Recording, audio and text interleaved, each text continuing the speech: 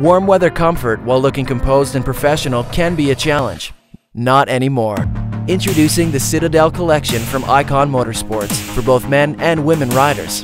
A sophisticated sport fit silhouette with the wearability of textile, the Citadel jacket features Icon's signature iron mesh and fighter mesh to vent heat and moisture, and a removable Thermolite vest for chilled nights.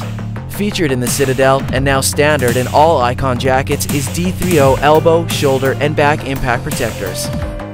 One glove to rule all conditions, the Citadel glove is an undercuff fit, featuring a mix of welded TPR, Battlehide goatskin, AX Suede for both reinforcement and fit, and an internal Hipora liner to keep water at bay.